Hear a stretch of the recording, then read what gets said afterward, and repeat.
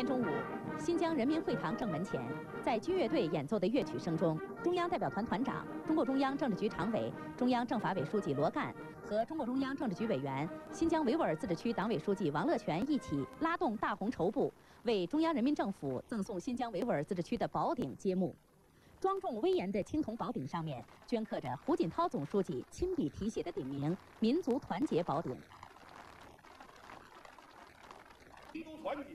回良玉在赠顶仪式上致辞说：“民族团结宝鼎是中央人民政府为庆祝新疆维吾尔自治区成立五十周年，赠送新疆各族人民的贺礼。它充分体现了党中央、国务院对新疆各族人民的深切关怀和殷切希望，也寄托着全国十三亿人民对新疆各族兄弟姐妹的深情厚谊和美好祝福。”他说：“国泰民安乐，家和万事兴。”新疆五十年的辉煌历程证明，在各族人民组成的大家庭中，团结就是力量，团结就是财富，团结就是胜利。王乐泉代表新疆人民向中央代表团回赠了极具新疆特色的大幅挂毯“新疆天池风光”。中央代表团副团长、全国人大常委会副委员长司马懿艾买提在赠顶仪式上宣读中央代表团向新疆维吾尔自治区各族群众赠送的纪念品清单。其中，两千万元民族团结进步事业基金主要用于支持新疆维吾尔自治区民族团结进步及教育、科技、人才培养等事业；计算机电教设备、台式计算机等赠送新疆部分县区和新疆生产建设兵团基层单位，用于开展科技教育工作，培养更多人才；电视机、DVD 机等赠送自治区和兵团的敬老院、福利院、光荣院、优抚院以及自治区三十个贫困县的中学。中央代表团还向模范先进人物和部分基层单位以及各族各界群众赠送了慰问品。新疆维吾尔自治区主席司马懿铁力瓦尔蒂说：“新疆各族人民将永远铭记党的恩情，不忘全国人民的支持。”中央代表团今天下午分三组，在乌鲁木齐分别看望了劳动模范、先进工作者和优秀专家代表，向他们致以节日的问候和亲切的慰问。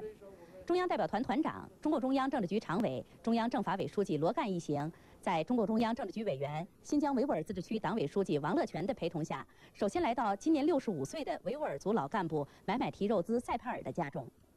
买买提肉孜一九九九年作为全国民族团结进步模范个人，受到国务院的表彰。罗干首先向买买提肉孜一家致以节日的问候和良好的祝愿，他关切地询问买买提肉孜一家的工作和生活情况。当他了解到买买提肉孜至今仍然战斗在工作岗位上，并且两个子女都在从事公安工作时，他说：“这是你们的忠于职守、无私的奉献。你们是新疆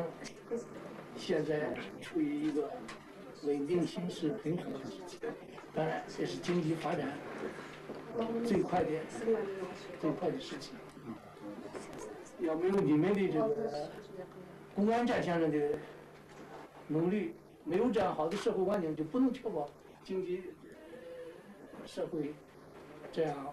稳定的向前发展。临行前，罗干向买买提肉孜一家赠送了慰问礼品，并与他们合影留念。随后，罗干一行来到新疆农科院研究员、中国工程院院士吴明珠的家中。罗干勉励吴明珠在培养青年科技工作者方面多做些工作，促进农业科技人才队伍不断壮大。阿布莱提·阿布杜热西提陪同看望。中央代表团副团长回良玉和刘延东看望慰问了新疆医科大学副校长、全国十大杰出青年、维吾尔族科技工作者哈姆拉提·乌普尔。